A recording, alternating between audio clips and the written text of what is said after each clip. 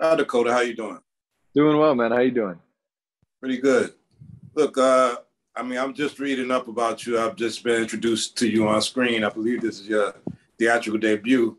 Um, but I, I want to hear about I, I want to hear about your music because I know you've been doing that professionally before you got on the big screen. So tell me a little about your sound and um, and and and and how long like you've been performing.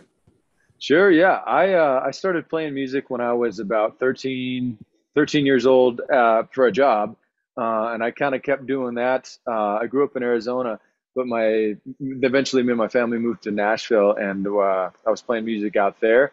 Played music out there for a lot of years. You know, working a regular job during the day and the music at night. You know, and eventually started doing the music full time. Uh, we kind of play kind of a kind of a country kind of a we kind of we kind of split genres a little bit sometimes. Uh, and um, yeah so i started doing that and then covid struck and that kind of squashed a lot of things for us. So we were kind of just in survival mode.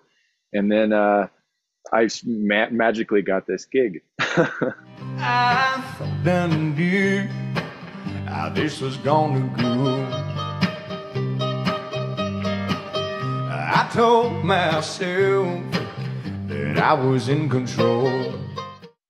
Tell me about a little about uh, your, your your native roots. I know that you have Scotty English and Mexican all, all mixed into the ethnicities, but how how culturally uh, close are you to the, your native roots, and do you do you do any of the annual traditional things that um, I, I believe it's the pueblos that.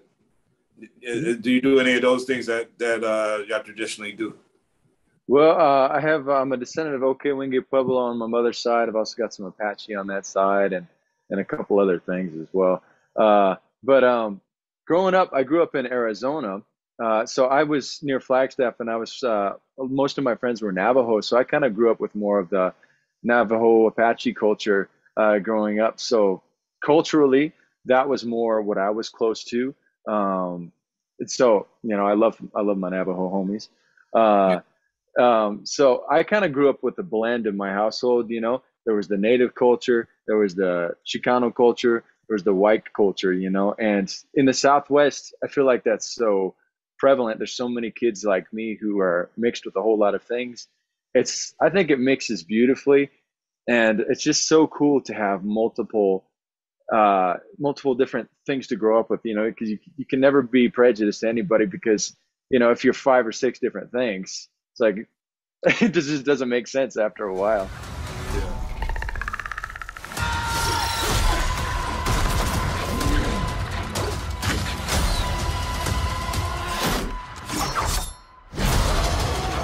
How cool was it to wear like that that war dress and everything else in this in while you're playing this character and to, to don the, those traditional native uh, garb and and I don't know if it's makeup or whatever whatever you would call it. Like how how cool was it to be in in that and performing this character that's um, that's that's a that's a warrior.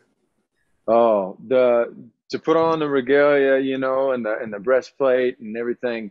Uh, it was it was so cool. I mean, and Jane Jane Myers, uh, the producer, she's a Comanche woman. She's fantastic. I call her Paha, which means auntie.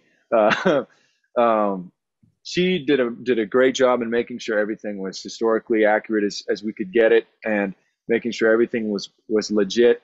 And the war paint is actually made out of this clay stuff, um, so that was awesome. Um, just you know, you know, watching everybody, you know, kind of develop their their own. Uh, the war paints, uh, it just felt wicked. You know, once you get that on and you get in the, into battle mode, you're just like, uh, this is this is where I need to be.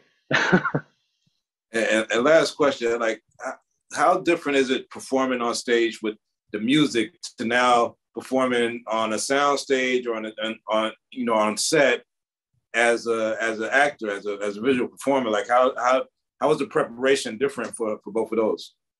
You know, being uh, being a musician definitely helps. Um, the first time I went to the audition or the screen test in, in LA, um, there was like you know like 50 people there behind the camera, and I was like, this is you know this is a different kind of performance, but I'm gonna just I'm gonna just treat this like it's another gig, man. I'm gonna just go in there and I'm gonna do my best, and if they like it, heck yeah. If they're not, on to the next one. You know, on to the next town. Yeah. Um, so I just kind of put that mindset to it throughout the whole project, and luckily, you know, if, if I just kept that here, then I was good to go. Well, thanks for uh, introducing yourself to us on screen, man. I, I, I got the feeling that we're going to see a lot more of Dakota Beavers and you know and, and, different projects to come up. You did a great job. It's a great project, and uh, can't wait to see more of you, brother. Thank you so much, Jamal. I appreciate it, man. Thank you, brother.